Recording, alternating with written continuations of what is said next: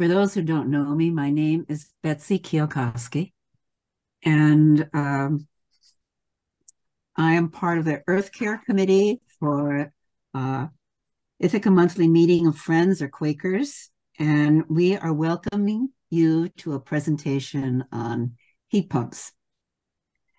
We've invited two energy navigators from Tompkins County, Cornell Cooperative Extension to explain and help answer your questions.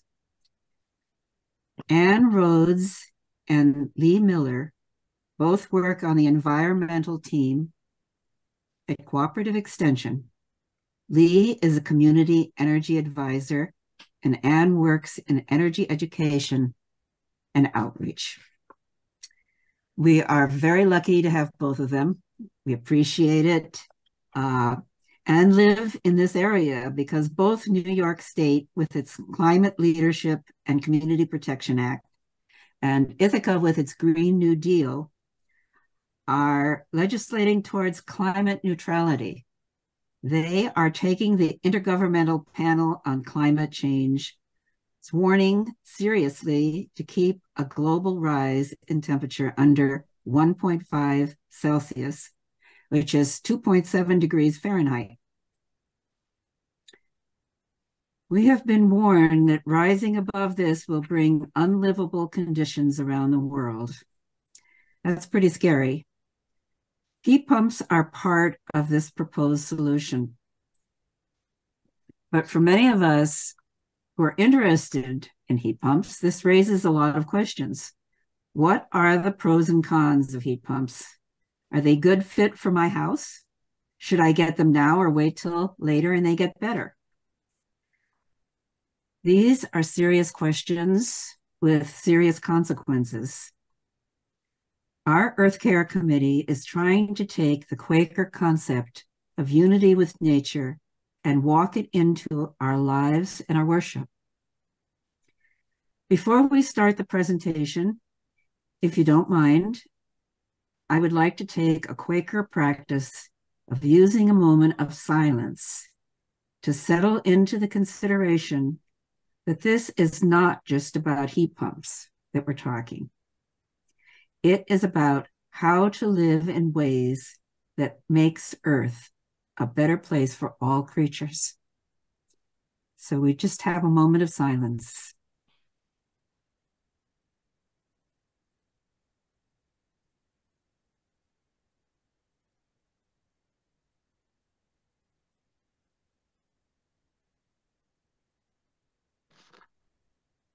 Now, Margaret, uh, another Quaker.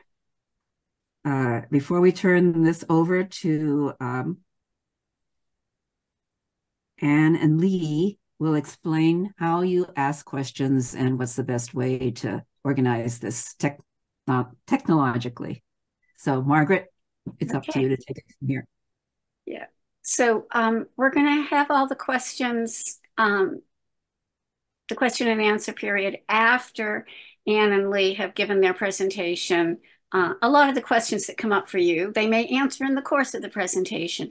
But what you can do is as a question occurs to you during the presentation, you can write it in the chat and I'll be monitoring it as it goes. And then Anne and Leigh will look at it when they're through. Uh, if you can't easily type into chat, then just write it down on your own and then ask it during the Q&A. And um, if you're on a computer where you can easily raise your digital hand or raise your physical hand, I'll be monitoring for physical hands. Uh, we'll look for people with questions that way. Um, if you're on a phone, um, you can use star nine to raise your hand and then we'll know you have a question. Um, and then star six, you can unmute to speak.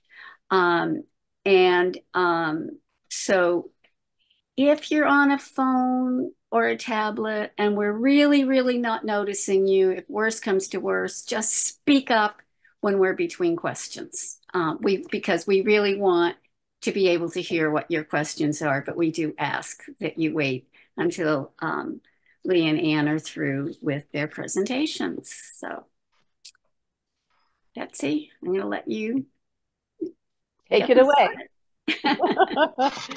Great, thank you. I want to um, Thank you for inviting us. We're glad to be here with you uh, to share all about heat pumps. We're going to share some information um, and we're going to try to address your um, questions and your concerns. So the first question is why heat pumps? And as Betsy pointed out, um, 2023 was the warmest year on record. And both locally and globally, we can see the effects of the climate crisis. There's plenty of evidence. Um, and the main way to mitigate or address um, the climate crisis is to stop using fossil fuels. By fossil fuels, we mean uh, coal, propane, oil, and fossil gas, which the industry calls natural gas. Um, and in terms of reducing fossil fuel use, our buildings account for 40% of greenhouse gas emissions in this country. So addressing um, the ways that buildings use heat, heat and cool their cool themselves um, is going to be critical because it it takes up 40 it produces 40% of our greenhouse gas emissions. So we need to get all buildings off of fossil gas and onto electricity. And although our grid isn't perfect, it's pretty clean upstate here and it's getting cleaner. Um, using hydro and solar and wind, and there is some nuclear, uh, as well as using gas to produce electricity. But electricity will get cleaner over time. But gas, natural gas, and oil and propane will not get cleaner over time. Hmm. So there's also, as Betsy mentioned, the state law, the CLCPA, which is going to require us moving away from fossil fuels. So that said, what's the solution? Well, the solution is to switch to electric heating, uh, home heating and water heating, um, and cooling and clothes dryers, switch to electric off of any kind of fossil fuels. So we will heat and cool our homes and heat our water with heat pumps. So that's that's my cue here. And just want to make sure, are you all seeing the slides? Yes. Yes. Okay. Full screen and everything? Yes. All right. Wonderful. I'm happy to be here with you all. Uh, I'm Leigh. I use she, her pronouns, and uh, going to take it away from Anne uh, for a minute. So Anne led the great um, entry point into why we're thinking about heat pumps, which many of you probably already have in mind since you're here at the presentation. And so now we'll just talk a little bit about what heat pumps are. Um, you may have heard uh, differing amounts about them. So this is an example of one type of heat pump, an air source heat pump, which is um, on part of the unit is on the outside of the house, and there's also part of a heat pump inside the house. And what a heat pump is, is uh, it moves heat from the outside air or from the ground into your home. Even on a really cold day, it can um, extract heat from the um, particles in the outside air uh, using a refrigerant and compressing it uh, and move that heat inside the house. And in the summer, the heat pump can function in a reverse mode and throw that heat from your house um, outside of it and cycle nice cool air inside. Uh, and heat pumps are actually uh, similar to technology you already have in your house, which is a refrigerator.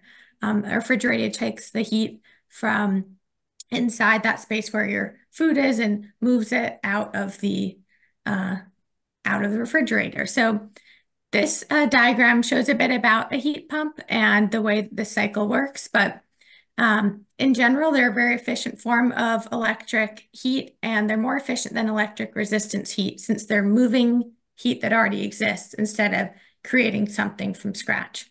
Um, there are all, it's also an option to pair water heating with heat pumps. So some systems can have water heating built into them, or you can have a standalone heat pump water heater system.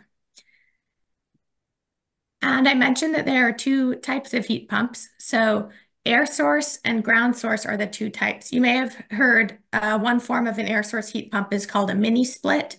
Um, that's an example of the head shown on the left. That's the unit on the wall. And Um, that's an air source heat pump without ducts. It's called a ductless mini split, and they pop the head onto your wall, and there's an outdoor unit um, like the picture we saw a few slides ago. And then there's also ducted air source heat pumps, which um, plugs right into your existing ductwork if you have that. Then the picture on the right shows geothermal and grounds, which is also called ground source heat pumps. Um, and that takes the air, the heat from the ground and transfers transfers it into your house.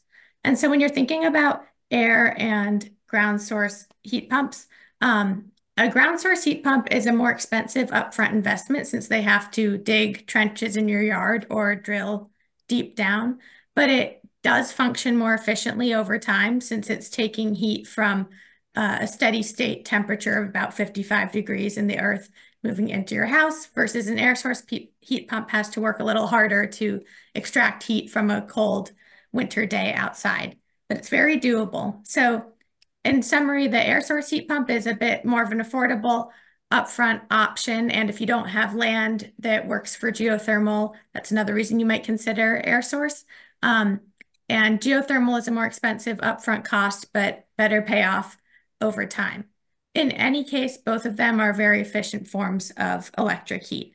Um, and with your system, you can get cooling from it as well uh, certain types of systems have the cooling already built in, others you can add in with it. So um, that's a bit of a briefing on uh, heat pumps. And then we'll let Anne jump in with a step you'll want to take before installing heat pumps in your home. Really important before you buy heat pumps to think about ways your home might be wasting heat because if you don't write if you don't take care of insulating and air sealing ahead of time you will end up buying a heat pump system that's oversized and more expensive than you need. So you need to make sure that your home is not wasting heat before you decide on what size heat pump system you're going to buy. So there are two ways that the house loses heat in the winter. One is uh, through conduction and that is you may not have enough insulation in your walls and in your ceiling in your attic. Conduction lets heat move out through a solid surface. And if you don't have good insulation, your house is losing heat constantly through the walls and through the attic. The other way of losing heat is through the holes and cracks that are in your basement and in your attic little places wires go through or pipes go through that weren't caulked appropriately, and heat can escape that way. If you don't seal the cracks, it's the equivalent of leaving a window, like you can see on the left, open all winter. That's how much heat you're losing. So it's really important to take care of insulation and air sealing before you think about what kind of heat pump system you want to buy. So the way to do that is to get an energy audit. And luckily, they're free from New York State. You can have a certified contractor come to your home and check for air leaks and check your insulation levels. They'll also check appliances and they'll check for health and safety. This is money that comes out of a small charge that's on your NYSEG bill, or um, which goes into a pool of money and that's paying for the energy audits. They're completely free. They're easy to apply for. A contractor will come into your home and um, assess where you're losing heat and how much heat you're losing. So you can go go to the great. So if your attic is poorly insulated, you'll see icicles. Icicles are a sign that heat is escaping from your attic. It's not properly insulated. It's warming up underneath the snow and melting it and causing icicles. So if you see icicles on your home, you know that your attic does not have good enough insulation. And on the left-hand side, you can see in the back of that house, in the back peak, there's a little dark spot where there's no snow. That means that heat is escaping right through the roof yeah. and melting the snow on top of the roof. So when the um, when the contractor comes in to do the audit, they have a couple of tools that are going to help them figure out what your house needs. One is a thermal imaging. It's a it's an infrared camera that can point at the walls and at the ceiling and in the attic and in the foundation and show you where heat is getting out, where you're losing heat. So they're often pockets. You may have insulated a wall, but it if it's cellulose, maybe it's settled. And so there's a place at the top where there's not enough insulation. Um, the second, so that's about insulation. This is about um, air sealing, cracks and holes where air is escaping.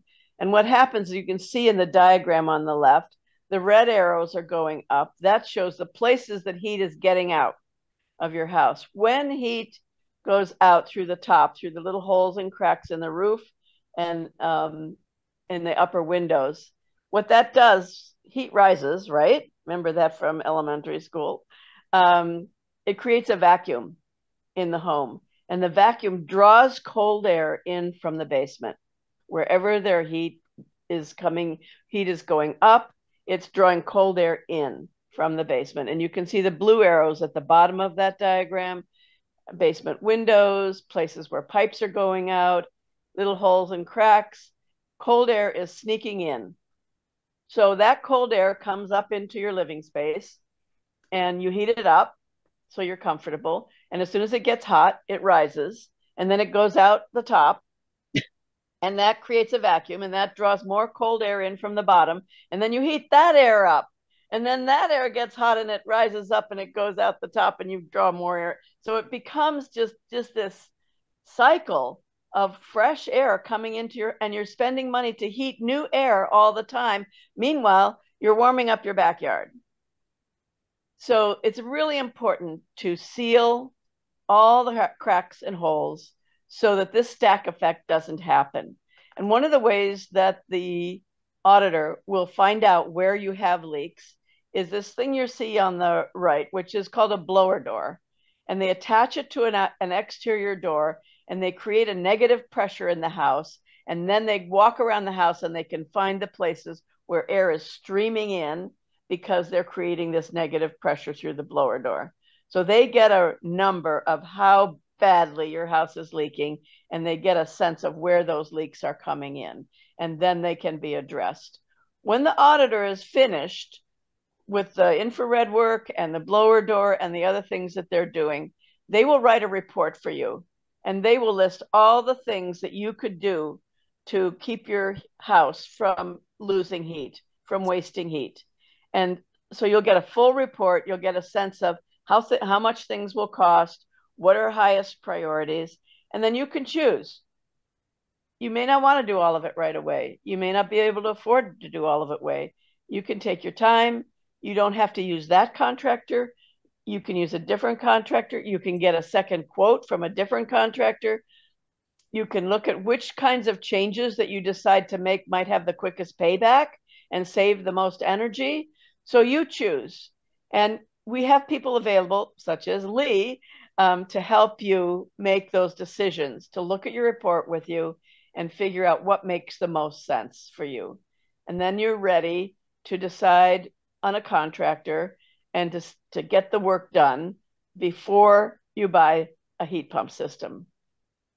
I think that does it for, yeah. Yeah. So now that Anne and I have talked a bit about heat pumps and then the step you'll want to take before that, which is getting an energy assessment and weatherizing your house, I'm going to jump into um, a brief overview of some of the incentives available. As you all might have heard, there are a lot of different funding sources to help fund both energy efficiency improvements, so insulating and air sealing your house, as well as to fund heat pumps. And this slide has a lot of information on it, but don't worry, I, I won't go word for word through it. And um, you also will have access to these slides. We'll be sharing them with Betsy and Margaret after the meeting. And so um, they'll be sharing them out with you, or if you're not on Betsy and Margaret's um, Earth Care email list. You can get in touch with them or with me for the slides. So the point I'd just like to make uh, on this slide is just letting you know that there are a variety of different incentives for insulating your home.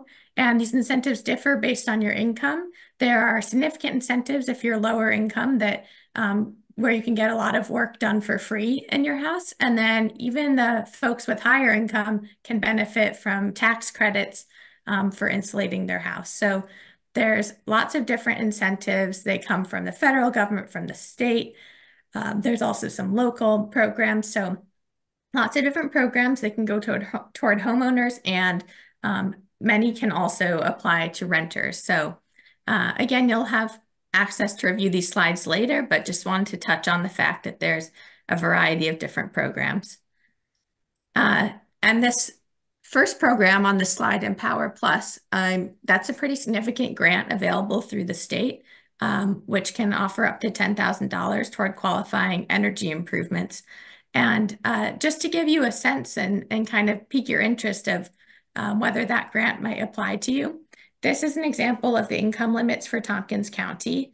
The limits differ per county, but um, you can see in this chart that folks in the column on the right are available or are eligible for a matching grant of up to $5,000. So half of the cost of work done to their house up to $5,000.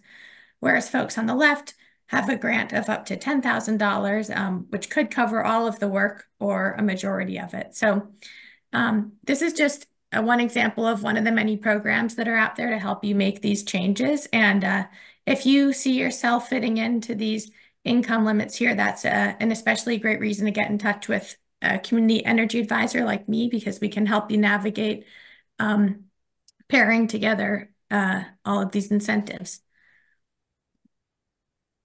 And then when it comes to heat pumps, the programs I just showed were for weatherizing your house, but there is some overlap. The Empower Plus program, which is that grant program with the income limits on the other page, um, that is a program that has a free energy assessment and weatherization funds. And then if your home gets up to a certain weatherization standard, you can use that funding to go toward your heat pumps as well.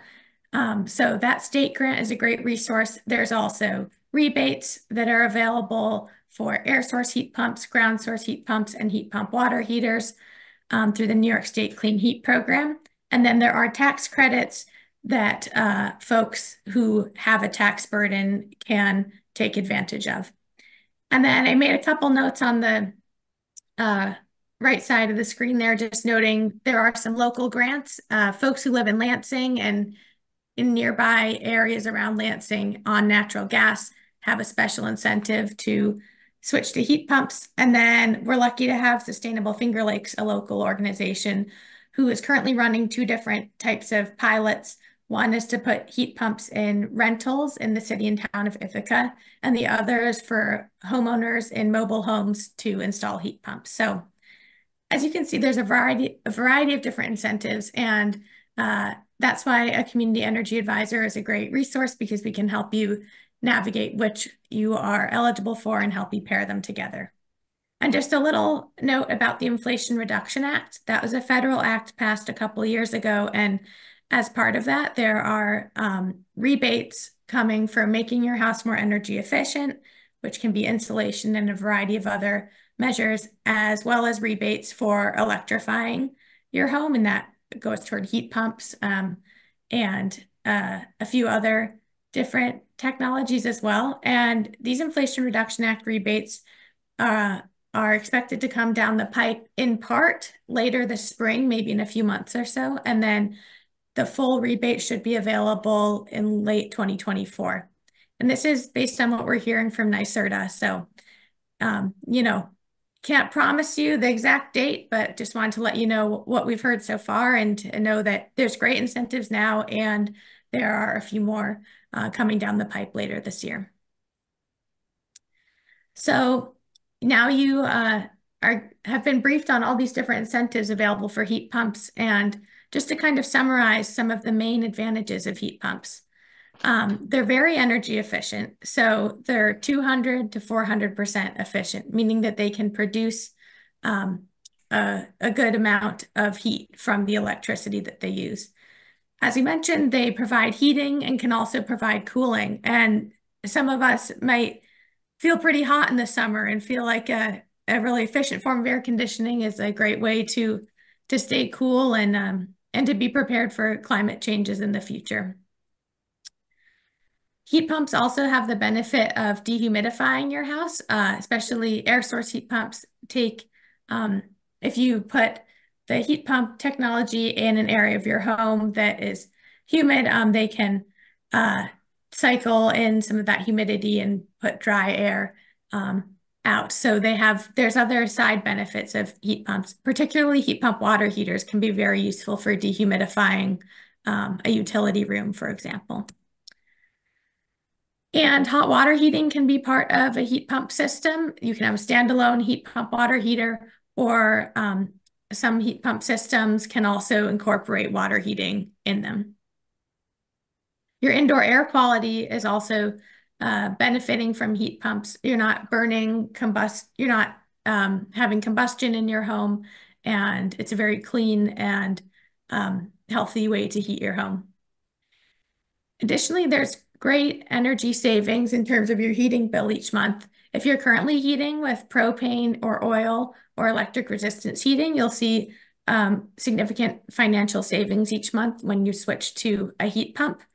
If you're currently heating with natural gas, that's when the equation is gets a little closer because um, gas prices are pretty good right now and gas and electric prices are um, they fluctuate at the whims of of NYSEG and um, they do tend to change. So right now, natural gas to heat pumps isn't an especially enticing financial equation, but any of these other um, fuels, you'll see significant savings. And um, with natural gas, as you can see, there's many other types of benefits that go along with heat pumps. So that's just a little insight into some of the finances there. They're also a very convenient form of heating and uh, you can control it with a remote or a thermostat. And there's also very little maintenance. Um, these uh, heat pumps, like any heating system, they do need service and checks, but they they tend to run pretty well and have uh, a good lifespan. A very exciting part of heat pumps is Anne touched on the grid and how if we electrify our heating system, as the electric grid gets cleaner, our um, our energy use in our home gets cleaner and cleaner over time. One way that we can expedite that is once you have electrified your home, meaning that you heat with these electric heat pumps as opposed to um, a natural gas or propane furnace, you can power those heat pumps with solar power. And that um, is a very green way to, uh, to keep your house going. And with solar, you might think that you don't have a good property for solar, so you can't fit it on your roof or your yard, but I just wanted to touch briefly here that there's a few different types of solar. You can put it on your own property or on your roof, and there are incentives for that. You can also purchase solar panels at an offsite solar farm. And then lastly, a pretty low lift option is to subscribe to a local solar farm for a portion of your monthly electric bill, and you get a 5 to 10% discount per month on your electric payments, and part of your money is supporting solar development. So as an energy advisor, I'm happy to talk with anyone about these solar options uh, as well and want to focus on heat pumps today, but just put that plug in that um, down the line, solar uh, is another way to um, get those heat pumps to be most efficient and to get your home the greenest that you can. And um, just to, before I pass it on to Anne, just to kind of summarize the what we've talked about so far, the first step for your house is doing the energy assessment and insulating and weatherizing it to reduce the amount of energy you're using. And even if you're not switching to heat pumps, that's a great step to take because if you're, um, you know, burning natural gas in your home and then you insulate it, you'll need less natural gas and you'll save money each month and you'll also be uh, making a good impact on the environment. So anyone, even if they're not thinking about heat pumps, can get a lot of benefits from a free energy assessment and weatherizing their home.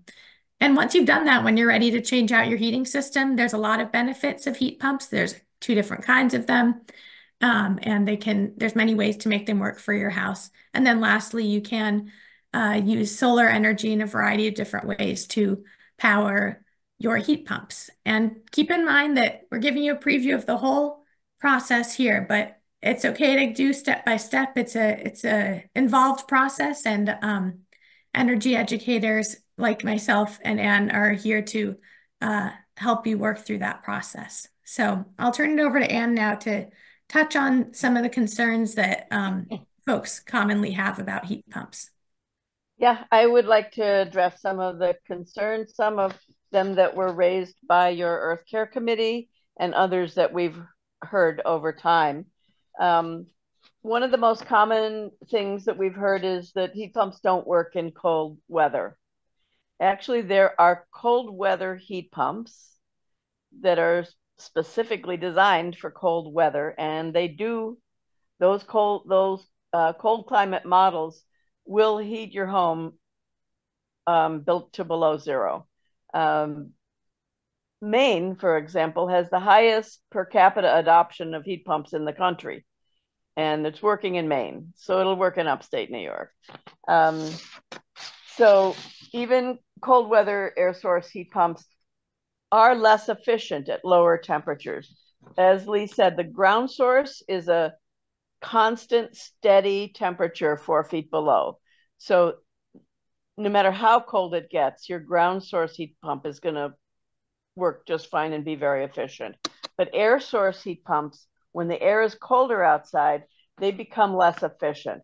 So starting at around 20 degrees or 15 to 20 degrees, depending on the model of heat pump that you have, the efficiency starts to drop a little bit. But they will still work. They just have to work harder to, to keep your home heated.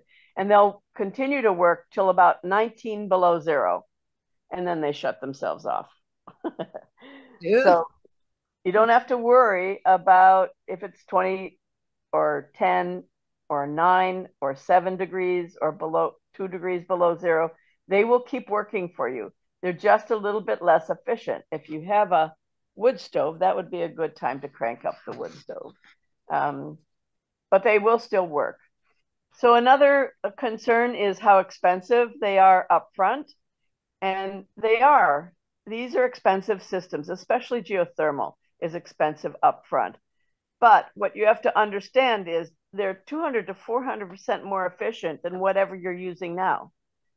So that means that the money that you're paying out upfront is going to get reimbursed to you over the years because it's so it's going to be so much cheaper especially if you use oil or propane or coal to heat your home. Um, it's going to you're going to gain that money back over time. And there as Leigh pointed out tons of incentives especially right now. And with the new uh, biden ira money coming in april um, it's going to even it's going to even get better. So you can sort of gauge your own uh, situation and decide is it worth plumping the money up front in order to gain it back over time?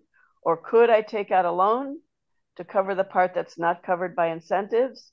And that's the kind of calculation that you each person, each household is going to have to make. And our energy advisors can help with help with that kind of thinking.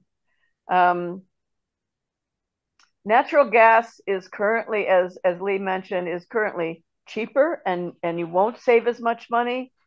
However, I need to point out to you that natural gas is going to get much more expensive because over time, as more and more people switch off of natural gas or fossil gas onto electric, there will be fewer and fewer customers using gas, but it's the same amount of infrastructure that NYSEG has to support for gas.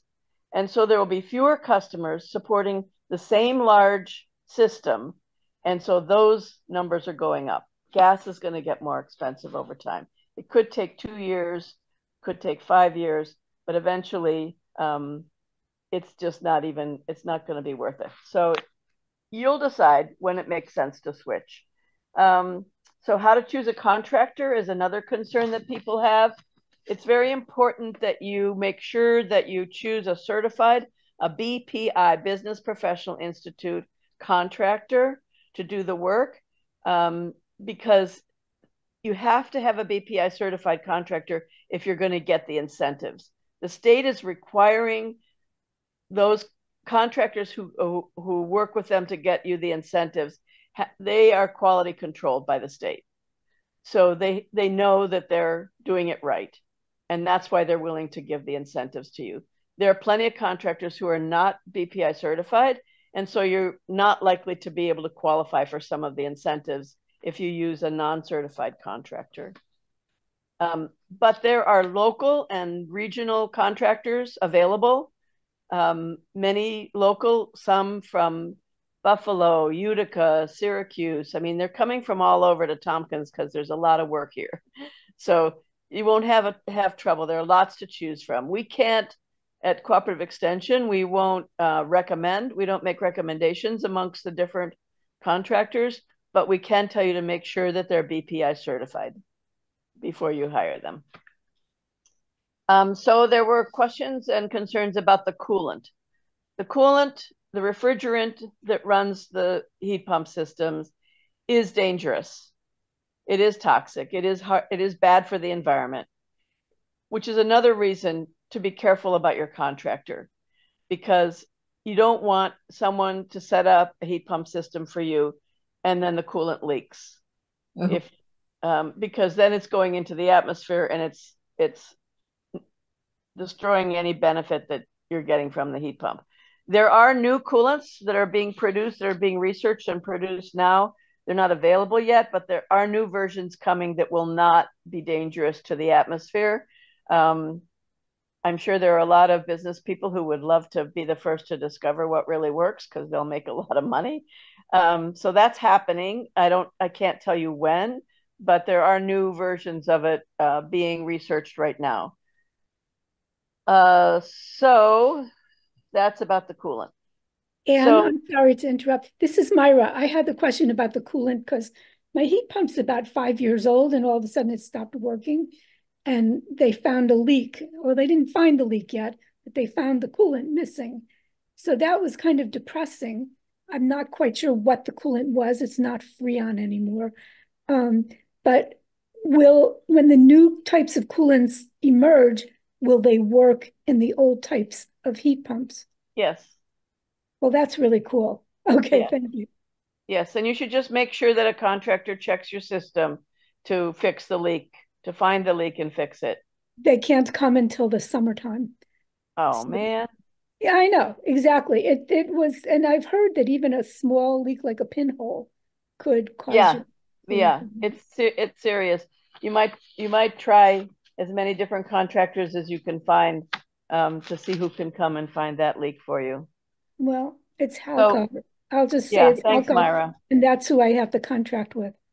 Yeah. So. so another concern is, but if everything in my house is going to be electric, what if the grid goes down? And yeah, if the grid goes down, your heat pump won't work. Um, but if the grid goes down, your oil-fired furnace or boiler won't work, and your gas-fired furnace won't work, so n- no heating system will work if the grid goes down. So yes, that's a concern. And we do need to put pressure on NYSEG to make sure that they are continually upgrading the grid so it can handle all this new electrification that we're sending onto the grid. Um, but it's not good. It's not any better with a gas or an oil system if the grid goes down because the um, the way that your system starts up, the way that initiates the heat is electric. So it won't work anyway. Um, so let me think what else. Okay, well, you will have to get used to a different system. Um, heat pumps work differently than boilers or furnaces. You're, we're used to turning the thermostat down at night because we don't need the house to be so warm and then turning it up in the morning.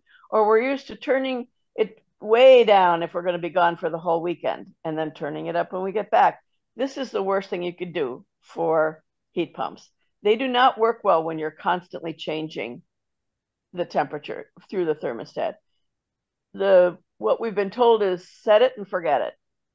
So find a temperature that's comfortable for you and just leave it because when you um, if you were to reduce the temperature, turn the thermostat down, and then in the morning turn it up again, it does it does not come back very quick. And what it will do is it'll switch to resistance heating to get what you're asking for quickly and then over time be able to pull the heat pump back on to the temperature that you're asking for. The resistance heating is very inefficient and you do not want to be using it. So you you don't want to turn it down and then turn it up and then turn it down and turn it. You want to just find a temperature that's comfortable and just leave it there. Mm. So that takes some getting used to. The other thing that I've found, and I do have heat pumps throughout my house, that was hard to get used to is that the number on the thermostat, on the little handheld individual room thermostat, um, doesn't correspond with how warm it actually is in the room. One thing is that the air source heat pump is way up at the ceiling. So it's measuring the temperature way up there. It's not measuring the temperature where you are sitting at your kitchen table. So it's going to, you're going to have to set it higher than you think because it's measuring the, the temperature way up there. But the other thing is that some of the contractors have told me that the number on the thermostat is just a is just a gauge for warmer cooler warmer cooler and the numbers don't actually correspond to exactly what the temperature is. So the important thing is to to find the temperature that feels comfortable to you no matter what the number says on the on the thermostat and just set it and leave it there. Um and? Yep. Why do they put it on the ceiling? Why not put it on the ground floor and let the heat rise? There are some versions that are that look more like radiators um, that are sitting on the floor. They do have some of those versions that's that sit on the floor. But it didn't take me long to figure out.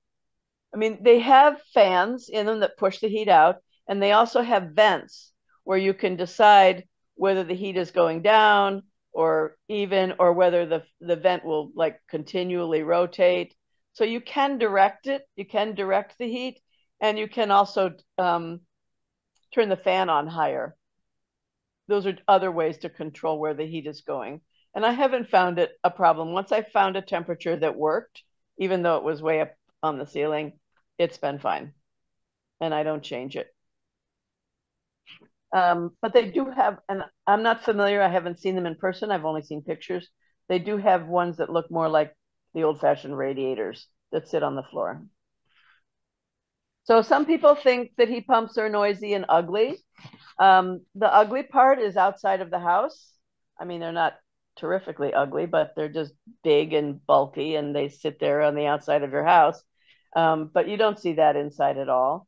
And the inside, as you saw in Leigh's pictures, um, the mini splits, the air source mini splits, are up near the ceiling and they're kind of sleek and they're not very big. And I don't think they're ugly.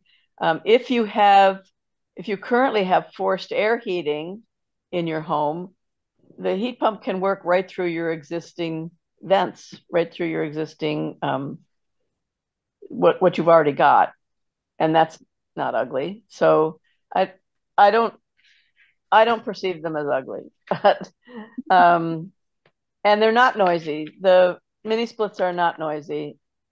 I can hear the fan a little bit when it goes on, but it's just a air sound. It's just a whooshing sound. It's not a grinding sound of any kind. The outdoor units do make some noise sometimes, but I can't hear them when I'm in the house.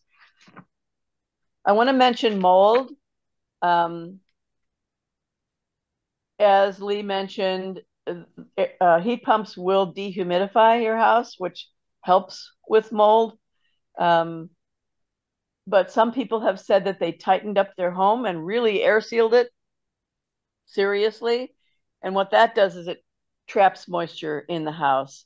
And if your house is too tight, you will get mold. You will get mold in the basement. You will get mold in the walls. You will get mold in the heat pump.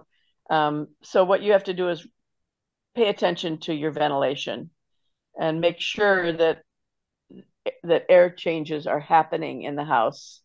My house is still so leaky that I don't have to worry about that. But but they do have systems which will retain the heat in the house but let some air circulate out. So if you're getting mold, you need to check your ventilation. Um, so the last thing I want to say is the situation of people who are renting their home. Heat pumps are tenants are not going to buy heat pumps.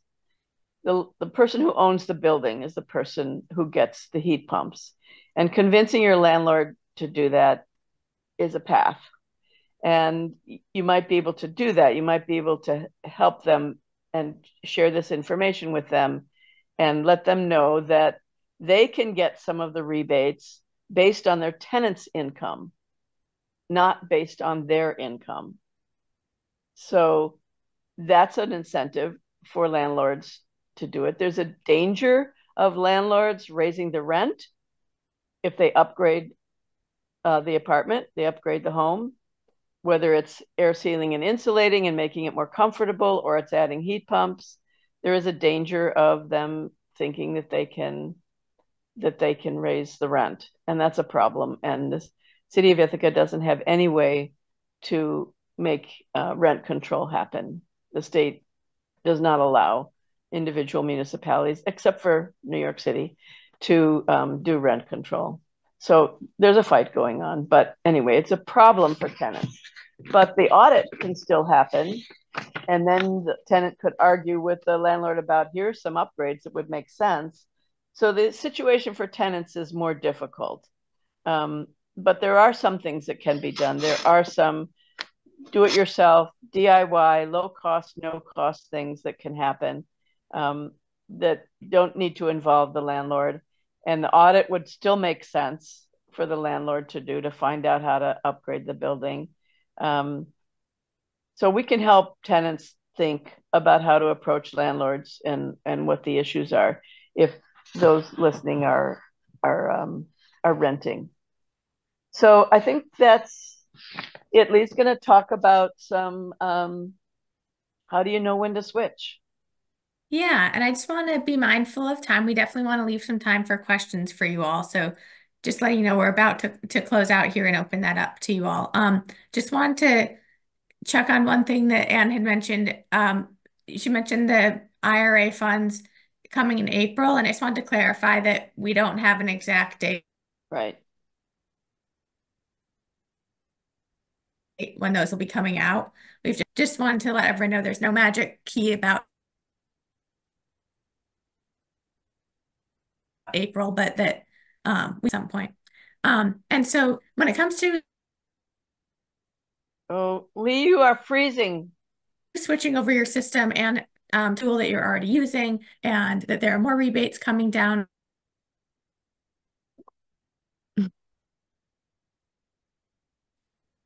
I hope. Let's see. Can you all hear me all right? I just got a message. My connection was unstable.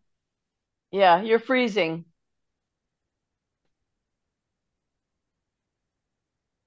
Maybe if you turn off your video, your audio will improve. Won't take as much bandwidth. Let's see. Can can you all hear me now? Yes. Okay. I just shut off my camera for a moment. Um, so yes, when it comes to switching your system, the most important time to be ready to switch is when your your current heating system is getting old and seems to be on its way out. That's when you'd really want to engage with this um, and think about being ready to put the heat pump system in so that you're not stuck with a furnace that dies and you have to replace it with another furnace. So if your system is getting old, that's a really good time to think about um, this upgrade. But even if you have a newer system that's more efficient, it's a great time to start with an energy audit and weatherize your home and be all ready to go and have a plan for installing heat pumps. And at that point, then it really becomes up to you with your financial equation on how much you're spending on energy now. Would you like to have a, you know, more efficient and less costly system sooner, or perhaps you're just ready to wait a few years and be ready to uh, switch to heat pumps once your current system gets older and um, isn't as efficient. So all that is to say, it's a bit of a complicated situation, but as Anne has touched on, energy advisors are here to help. We have our website here, which I'll also put in the chat for you. Um, and we have free energy advising. This is the team of us. We cover the whole southern tier. Um, and that's eight counties across the southern tier. And we'll help you figure out which con which incentives you're eligible for and which contractors participate in those programs and help you get connected and work through that process. So um, we'll definitely uh, make sure to leave questions. Uh, we want to hear your questions now, and I'll put my contact information in the chat, but uh, encourage you all to um, check out our website, learn more about these incentives, and certainly be in touch with me with questions to uh, if you're ready to start this process. So I'll stop share now so I can see all of you, but we're ready to uh, answer some questions. Hopefully my internet will let me have my camera on. There's there's some uh, questions that are unanswered that are still in the chat. Let's see if I can bring it up again. It just disappeared. Yeah, I can take a look at that and pull it up um, now. Yeah, there. Uh, one is from I think you answered the one from Myra. Myra, yeah.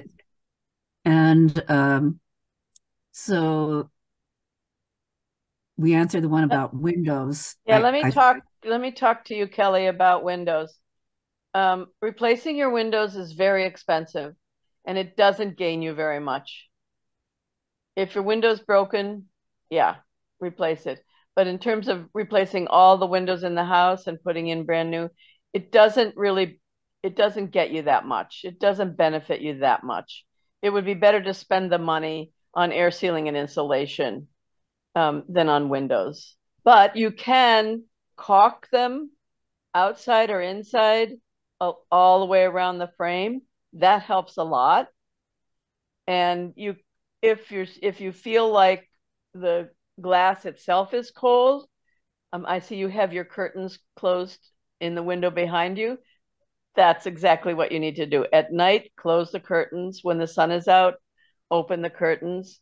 Or you can get uh, kits that have plastic that you could put on the inside of the window that, that help air seal it. But replacing windows is really expensive and doesn't get you that much gain.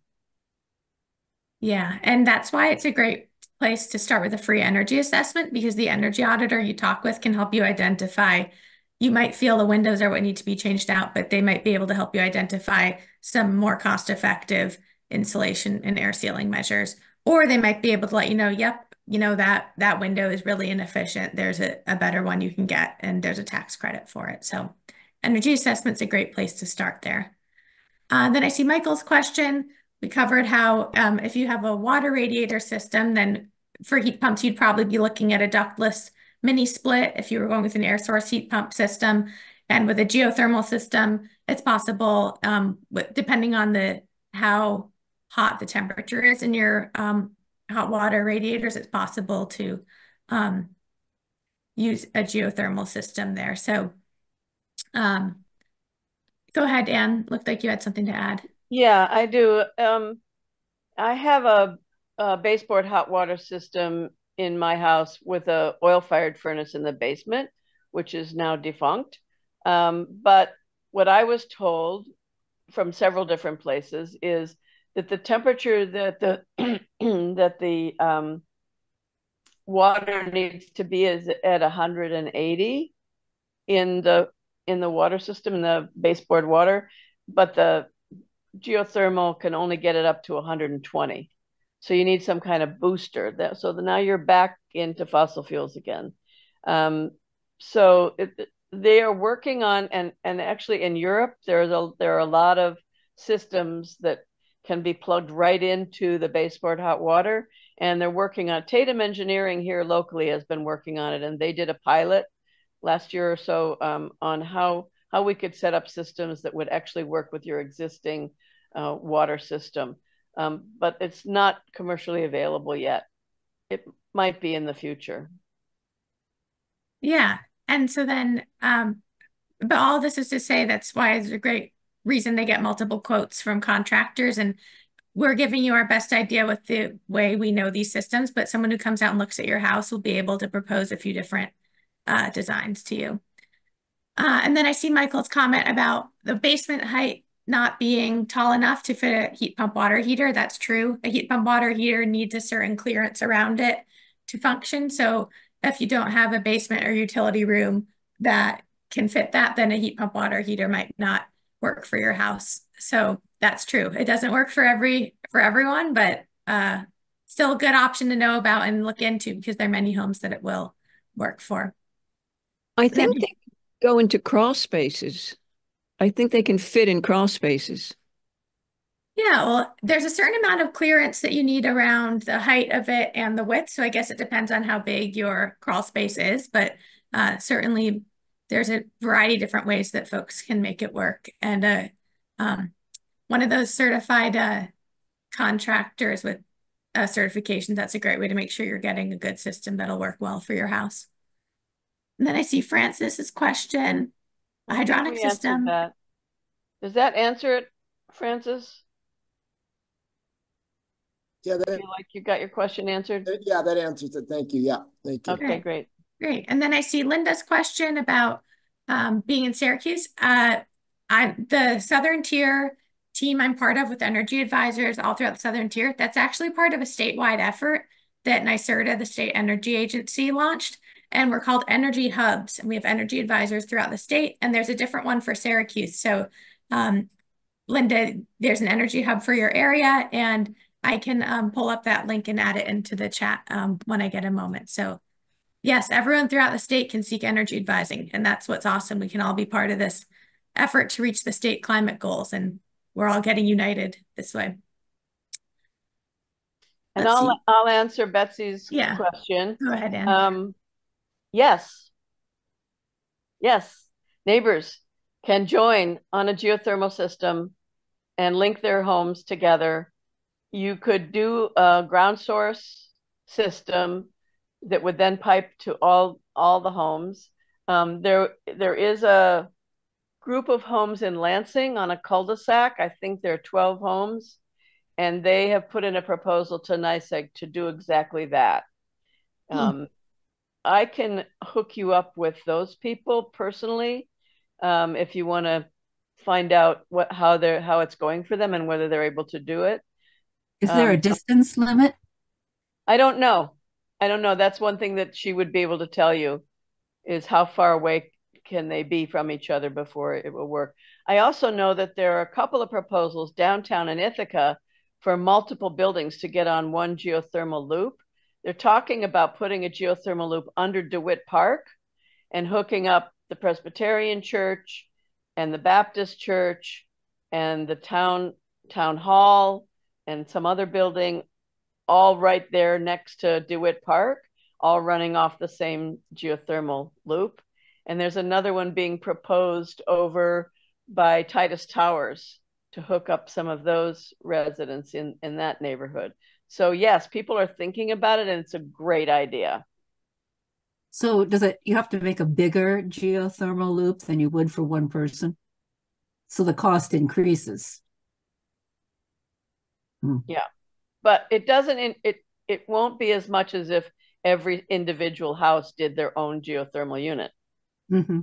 Mm-hmm. So I'll I'll make a note um, to connect you with the, the, that Lansing woman, and you okay, you guys can talk with each other. Thank you. Yeah.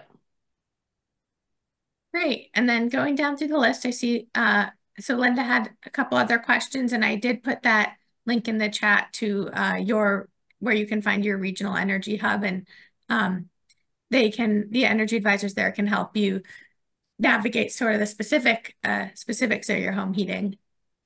So going through, I see Bonnie's question. Radiant heat in the house. What be a candidate for heat pumps? I'm an oil boiler, an indirect hot water heater, and we'll have to get hot boilies. Okay, with radiant heat gets a little complicated. Um, and feel free to jump in here, but my hunch there is that uh, ductless mini splits, um, anyone is a candidate for those regardless of your heating system.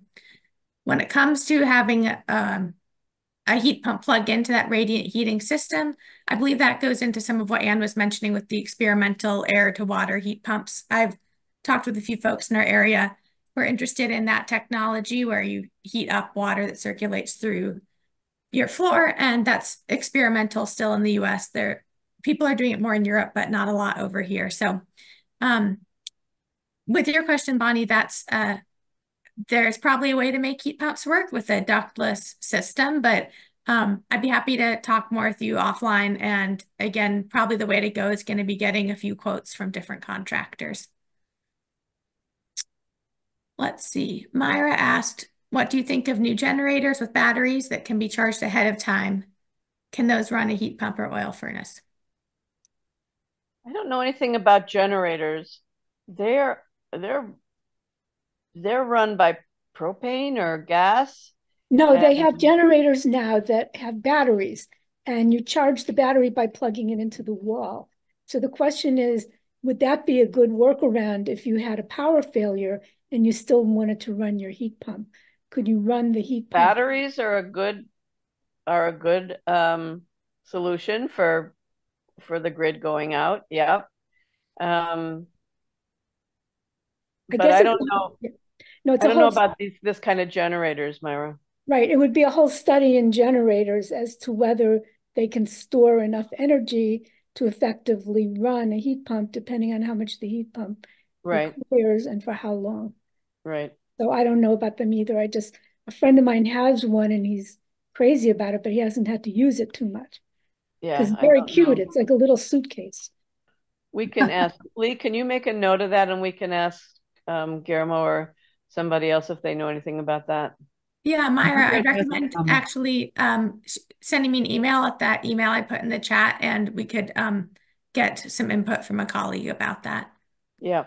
And I see Margaret now has um. Margaret has her hand up, so I see you might be cutting us off with our timing here. No, no, no, no. I want to jump in on on um, backup generators.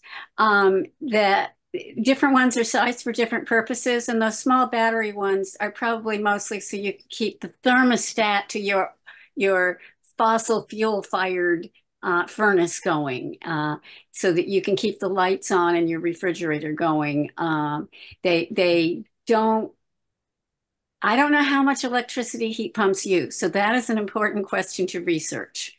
But any backup generators would have to be sized to handle that. And um, propane is is actually one of the better, more ecological ways to run a backup generator. It's much so much better than diesel, and um, it's less impactful for the environment than natural gas. Propane is a byproduct of the production of natural gas, so it's not a long-term solution, but as an intermediate solution, it's fine. And batteries themselves have their own impact. So I, I think a propane generator is a good idea. And usually the companies installing them do, they say, what do you want to have on the circuit that the generator is plugged into? So um, as the weather gets more extreme, that matters more and more. Uh, but I'm going to be very anxious to find out what kinds of backup generators people need to fire um, heat pumps for which size dwelling. Oh, and while I have you, as a renter, one of the things, selling points to landlords for installing heat pumps for heating and cooling is that a lot of buildings have natural gas for heating um, hot water for the entire building. And yet they have tenants with windows open in the winter and all kinds of stuff. If they put in heat pumps, the bill for heating goes to the tenant's electric bill. And so uh, the CLCPA has protections, so landlords can't raise the rent on people when they do it. But it means renters will pay more attention to their heat because they'll start paying it. So that's an incentive to landlords to install heat pumps. So um, I'm going to answer Francis's question. I have a five bedroom, two story, five bedroom house. It's big. It's way too big for me. But when we first lived here, we had seven adults and and a child. Um, so I have, uh, I do not have a heat, an air source mini split in every room, not even in every bedroom. But I have five total, and that is sufficient to heat. I have two bedrooms upstairs, and I have the kitchen and two other rooms downstairs, and that's enough. It heats the, so I know people who have smaller homes who just have one. mini Wow. split and it heats the whole home. But your auditor will tell you how much you might need. So when you have the audit, that's a question like, okay, what do you think? How many do I need and where where could I put them? Because we had to have long discussions about where do I spend most of my time? Where does the air flow? If I put the heat pump here, will the air flow out to there? So it's a whole discussion, but your auditor will will be able to talk with you about that.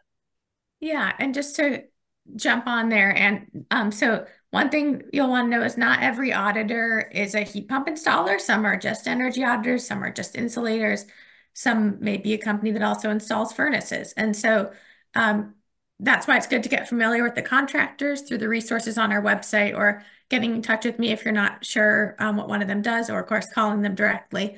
Um, but when you are having a, if you have an energy auditor who can also assess you for heat pumps, that's great. Or you can do the energy audit first and then get a heat pump quote.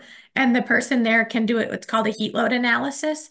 And they basically add up how many um, units of heat is needed to keep your house comfortable. And again, that can be reduced by weatherizing the house and you want to get it to as low a level as it can be, but then they'll size up the heating load of your house and propose a system that would meet that. And there may be a few different arrangements of how the heads could work and the heat pump heads, and that's why getting multiple quotes are good. Betsy? Do you recommend, it sounds like it might be a good idea to have an auditor who is not your contractor and look at the, do a, a thorough audit uh, based on, you know, a special expertise as an auditor, and then come to you and see, you know, what's best to insulate what you have money for, and then get a look at a contractor. Uh, I mean, I I looked at, I had a contractor come by, and I don't think he did a very thorough audit. Uh, so Yes, it's I think you're probably right. There are some who don't. so who who to call for the audit? NYSEG? Who do you Call call? For the energy audit, you can check Yeah. in with me depending on the income level where you are. Um, Uh-huh. If you're in the low and moderate income level, you'll want to pick a contractor who's within that Empower Plus program. And if you're above that level, there's another um, set of contractors. There's some overlap between the two sets, but basically you'll want to identify if you'll be eligible for that state grant. There's a pool of contractors that you'd choose. And if not, there's another pool. So I thought NYSEG offered the free audits. You know, I've heard people talking about that historically. They remember NYSEG coming to their house and giving audits. Right now, there it isn't a NYSEG audit program that I'm aware of. So, Yeah, there, there was years ago, that. there was. Mhm. Yep. Thank you. Yeah. So Kelly, the pros and cons of ducts, the ducts are for the geothermal and the wall units are for the air source. So they're two different systems. Um, the the mini splits are their own separate unit. They don't use your existing ducts, but you might be able to use existing ducts if you do the geothermal. The, is the just to check geothermal what you were talking about going underground? Yes. But I have, Is I have an air exchange that uses the ducts. Yeah, I was I was Yeah. going to mention, and an air source heat pump actually can go into your ducted Okay. system as well. Yeah, there's two different kinds of air source. It's a source heat different one. It's not the mini splits. Right, It's a- It's a whole house system. Yep, yep. So there are air source heat pumps that go with your duct work, and there's also air source heat pumps that are just mini splits on the wall. Um, and the pros and cons of that, um, my to my knowledge, uh, it really depends on, you know, there might be cost savings if you already have ducts in the house and they can just install the system right in there. That might save you money. Generally, with the air flowing through the ducts, it may lose a little bit of efficiency of heat because um, it's just a, a wide um, radius that's running through, and then you need to make sure ducts are properly sealed. So, from what I've heard, the ducts may, um, you know, lose a little bit of of heat along the way, but basically both types of systems are very common and uh, can work well in people's different houses. So, I, again, I would have a heat pump contractor look at your house, determine what the heat load is of the house, and propose uh, some different systems for you. Uh, now I see Bonnie's question about the wired-in generator. Again, so we don't have knowledge at this point about generators. Um, folks have specific questions, um, you can get in touch with me by email after. Again, generators are a little out of our wheelhouse, but um, but we can maybe connect you with someone who who could better uh, talk with you. And just want to jump on there too when we are thinking about generators and emphasize that from uh, other colleagues I've talked with and and knowledge of this field, um, as Anne mentioned, even though you're switching to heat pumps and you might think I really want a form of backup heat, um, your current furnace or boiler probably doesn't work when the power goes out either because the fan isn't working on it. So a really great way to be ready for power outages, regardless of your heating system, is insulating and weatherizing your house. And that way, say the, the power isn't usually out for more than a few hours. And so that'll keep the heat in very well. So just want to uh, kind of ease ease that worry there. Generators might still make sense for you, but certainly not a requirement for um, for a heat pump system. Uh, I do see a question by someone on the phone. Uh, yeah, if it's the 316-0398 number, that would be me. So yeah, go ahead. I was educated as a mechanical engineer, and I've recently bought a 1,700 square foot house that has a geothermal heat pump. It's an open loop system, so it takes fresh water out of what had been a former drinking water well, but now we have town water supplied. And um, it tied into a forced air system that had been served by a natural gas furnace. It uses 10 kilowatts of energy at 220 to 240 volts. It uses 9 kilowatts or so for cooling, which is a little more efficient. The um, coefficient of performances that were discussed previously, um, it's if you've got a coefficient of performance of three, say, then three times the electricity that the compressor and fans take up is what you'll see for a heating effect or a cooling effect. So it is quite efficient. And let's see. So yeah, 1700 square foot. We've got four inch walls only. So R11 insulation in the walls and maybe six inches of fiberglass on the ceiling. At this point, we're still waiting for our energy audit. And we have a backup generator that's 1800 kilowatts, so it's enough, or 18 kilowatts rather. So it's enough to supply the heat pump plus all the other utilities in the house. Not that I added any of this stuff, we just bought the house as is. Sound like you're in good shape. Yeah, I think so. Um, we're we're lowering ceilings, adding insulation. We've had an energy audit done, and um, so we're proceeding on some considerable conservation measures, among which was taking out the chimney unused after the natural gas fired furnace was no longer used. And um, the energy auditor certainly pointed out that any of these ceiling penetrations allow a lot of heat to escape and, and set up a, an evacuation heat from the basement and water vapor. Thanks for your Thank you. example.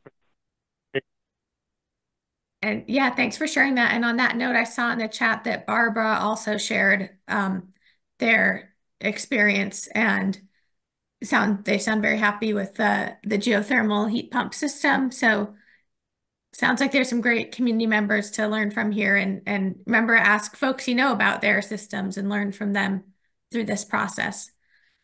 Um, Kelly, I'm looking at your question about the Airbnb. Why don't you email uh, Leigh or I because this sounds like it's going to be a conversation. Yep. Yep. My email's in the chat. So Kelly, feel free to get in touch with me there. Happy to talk with Yeah. you. And we Um, answered the Syracuse. We answered, and then I Um, see Rachel had a question about Seneca County from the Smart Energy Hub, not as informative as this talk. Well, well, they'll get there. Thanks, thanks, Rachel. Yeah, all the hubs are in different phases of getting set up, but you'd like to explore contractors in Tompkins County because we're only two miles north of Trumansburg. Yeah, why don't you get in touch with you, Rachel, and we can have a, a chat there and figure out might be some working together with the other hub and helping you get set up there. So please do send me an email. Um, Thanks.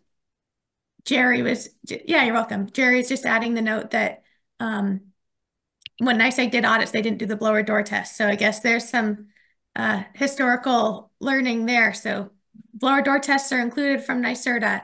Um, definitely for the low income folks. For the higher income folks, a blower door test is not a required measure, which means that you may have to pay a fee for it and you may have to ask your contractors. That's just some insider scoop. Um, the blower door test definitely free now if you're low and moderate income and might be a fee for it um, if you're higher income, but it's a very useful tool. And then I go just- ahead, Anne. I just wanted to ask Jerry if you have anything you want to add. Oh, you've done such a good job. That's what I uh, um I don't think uh I might come back with some comments to you of just just some questions that I had. Okay. Um, one is that I'm my concern that I think the uh R410A uh, refrigerant in the currently leaking uh, uh, air source heat pump system. When the new refrigerants come out, I do I I do think it still needs to be replaced with R410A. Unfortunately, I think you have to keep the refrigerant the same. Uh, but frankly, as long as it's intact and and and someone can uh, keep it from leaking again, that's where you want it. You know, you need to find a contractor who will make sure that it will not leak. That's that's the bottom line. Because even this next generation of refrigerants are not um it's not solidly where we're where, where we're headed. There's one we're going to get after that that is. Um but but the main thing is uh make sure um they're not just adding make sure they're not just adding more refrigerant to replace, but actually correcting the problem. That, that's all I have to say. Great. Thank you, I'll try to Jerry. get more Yeah. information on that. Yeah. Yeah, unfortunately, that's what they did. They added a lot of Ugh. refrigerant and it's it still didn't work. And that's why they said they have to come back in the summer. And the Ugh. cost of the refrigerant was um, like a thousand dollars, but because I had a contract with them, they I didn't have to pay. But it's scary sounding, you know, with all that. Yeah, it's very scary. Yeah. Yeah. If you I'm don't get it resolved, okay. Myra, get in touch with us.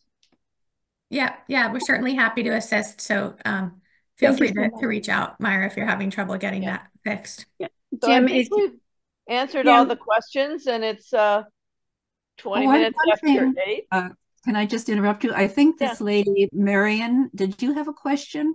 I, I, Yes, I want I wanted some clarification about uh, using um, mini splits or the radiator type floor unit with ground source.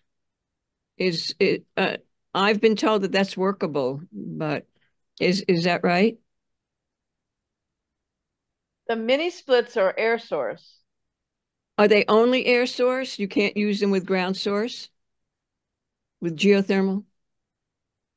If you're using geothermal, it's gonna come through ducts, I think, Yeah, I can't do ducts in my house. mainly, or it or it, when we figure out how to heat water, then it could come through the radiators. Um, but le- as Leigh said, it's it's very common in Europe, but it's not really happening here yet. Um, although Taitem has been involved in some of that work. Uh, so it the ground source will typically come through your the vents that are on your floor. Yeah, Right. Al- Although um, it it is possible if you have a um, uh, but yeah, the air to water, um, having an air source heat pump system that heats up water is is the experimental part of it. With a geothermal system, um, there there's a few different ways the system can work. Um, this is getting a little out of the like technical expertise that I have, which is why I recommend folks talk with contractors about this. But um, Marion, the the best thing you can do is get a, a few different quotes for your house because there may be a variety of different ways to make the systems work. There's a few creative things. Um, VRFs, variable refrigerant flows. There's a few different technologies um, that when it comes to making a heat pump fit in for your house. So um, I don't have a clear cut answer to your question either way, but that's definitely something that getting multiple quotes can help you with. And um, yeah, and you can always try us here at Cooperative Extension. And if we don't know the answer, we can try to find a good resource for you. We'll find it. Yeah. Go ahead. Um, Margaret, looks like you wanted yeah, to talk. I just want to check and see if Jim's hand is still up or from before, or if he has something else to add. And then I ha do have a general comment question. It's one you may not want to address, but it's kind of the sub question I hear behind many of these questions. So first, I just want to check in with Jim. Um, did you have something new to, to add or ask, Jim? Can you hear me, Margaret? I can hear you. Yeah, your hand is still up, so that that's a toggle. So if if you don't mean for it to be, you can just hit star nine again. Yeah, I'll have to hit star nine again. Okay, thanks. thanks. For all. Okay, now the general question I have that is in the background behind all these other questions is how do you know that a contractor is the right contractor? They might be big, they might be small, they might be BPI certified or not. Um, and so uh, is that something where you all can help people say, well, this company has a pretty good reputation or that no, so no we're so that's why you recommend multiple contractors and then we have to judge whether we think that person's appropriate or not Okay. Yeah. Sometimes the pool gets narrowed down if you, once you kind of figure out all the different programs you can use.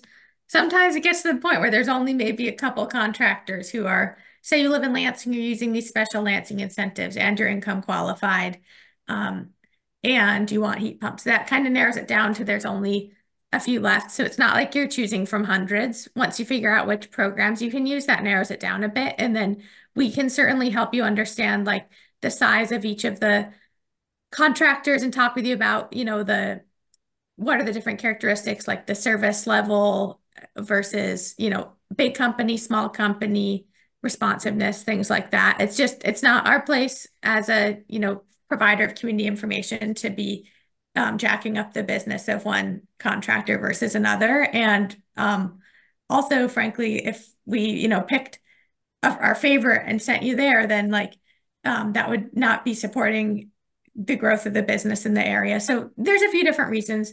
Um, uh, it's not to say that in the future we won't have a process of, you know, fairly uh, having a way for all these contractors to apply and be in partnership with us. But right now, um, the right thing for us to do is just talk with you. We can give you as many details as we know about all the contractors and help you go from there about, you know, picking one of them. But it's just we're not in a place to tell you, you know, this guy is my favorite. This one's the best one for you. So just wouldn't, it's not really in our scope, but we're here to, to help you kind of with as much information as we have. And then you can and, make the decision. And you there. can get more than one quote.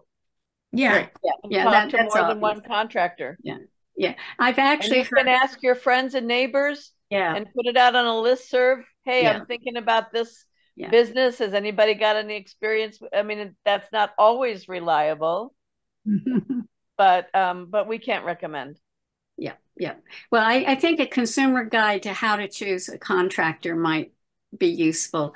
Uh, the other thing i've heard from people is that for their particular situation there often ends up being only one contractor even available to consider having the work done. So hopefully as more of these incentives come out and time passes, the options will get better. And I was actually on a call with Project Drawdown yesterday with a building science engineer and what she recommended around heat pumps. Because of all the issues people raised tonight is if it's time to replace your heating system, it's a good time to switch to heat pumps. If you don't need to do it just now, be planning, be researching, be ready to switch um, the better refrigerants are in the pipeline. And also, uh, Anne or Leigh, one of you referred to uh, that they're phasing out the worst ones. The next one coming in is better, but there are even better ones down the line. However, uh, if it is time for you to put in a heat pump, all the ones in current systems and the next generations of systems, those refrigerants will be available for the life, the expected life of your heat pump. And um, it's only far in the future that uh, its new systems will be required to use new refrigerants. Right. Old systems will not. So I think that addresses any concerns you have right. there. So um, thank you all for having so much interest in this very important topic as we work our way through this transition. And I think Anne's talking about what it's like to live with heat pumps and the adjustments you have to make. That's after you get it. And, and thank you all for having so much in, interest in the nitty gritty to help people get to heat pumps. I, yep. I just want to ask one last question, and that is, is there any time or place you would you wouldn't rec recommend a heat pump after you've gotten your energy audit? I mean, when is the situation where a heat pump doesn't work? If your heating system is really efficient and fairly new, you wouldn't qualify. I mean, if it's newer than five years, for example, you wouldn't qualify for some of the incentives. Mm-hmm. They won't replace. They won't replace it if it's that new. If it's really efficient and it's fairly new, you've sunk a lot of money into it already, and so it's important to have a plan, be ready, do your audit and upgrade, but you don't need to jump on it if the system you've got is fairly efficient.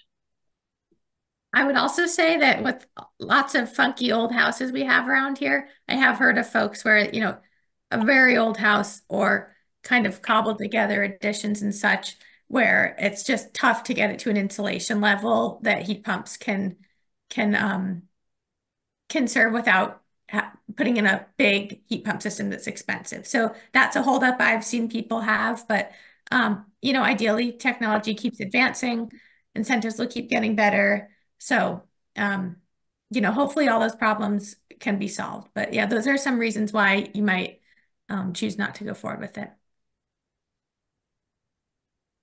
Thank you so much. Are we finished, you think?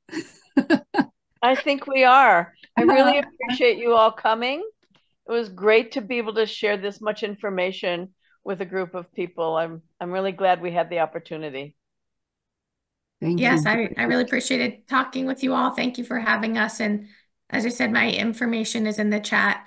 Um, and I'll also have uh, Betsy and Margaret send out the slides and encourage you to get in touch with me. And if you have neighbors, friends who you think could take advantage of this, particularly um, to spread the word that even if you have lower moderate income, there are great incentives to help you out.